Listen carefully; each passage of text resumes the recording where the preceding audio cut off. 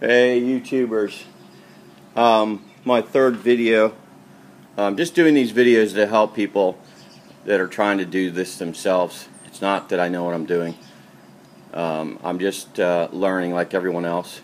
Um, but my first two videos I explained my system and then the second video I explained uh, mounting a panel, second panel, and also a uh, 6,000 watt inverter that I'd purchased. So anyway, I wanted to show you that what I did was I moved all my batteries to the lower shelf. I'm making room for a um, an actual uh, Tripp Lite UPS that I found. So that'll be on the top shelf. But anyway, there's eight 6 volt batteries um, across the bottom there. They're they're wired uh, in parallel and in series to make 12 volts. Uh, I made all the cables. It's a 2-aught cable. Um, now I wish I would have gone bigger, but uh, anyway, it's better if you make your cables, I think, so that they're not hanging all over the place. Uh, but anyway, there is the inverter mounted. Uh, I decided to shelf mount it, and it's up there very secure with metal brackets. And I do not have it hooked up yet, so that's the next step to hook everything up. Um, there's the on-off.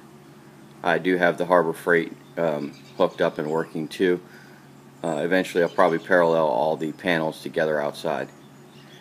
So that is the system so far. Uh, I'll show you the outside.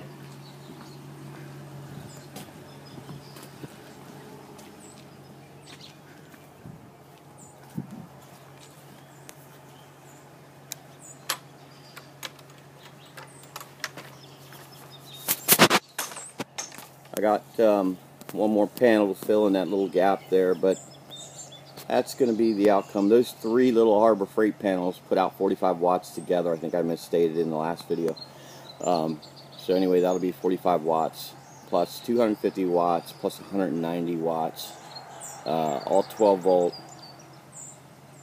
and that's the way that's going to look. And um, I do have room actually for two panels, one in the center top there and one at the bottom. So probably fill those gaps. Uh, again this is just to give anybody ideas that's thinking about doing this you know the way they could do it. Uh, I'm not saying this is the best way or the right way. Probably rather have these on the roof but it's just worked out easier because I can just bring the wires right in and the sun is on the back of this uh, the house you know 75 80% of the day so I do get exposure back here.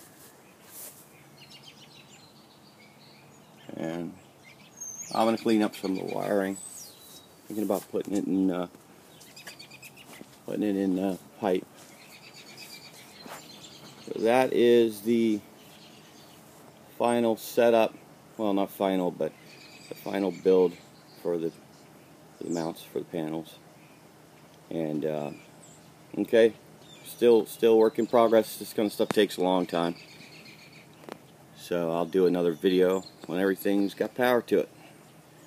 Alright. Have a good one.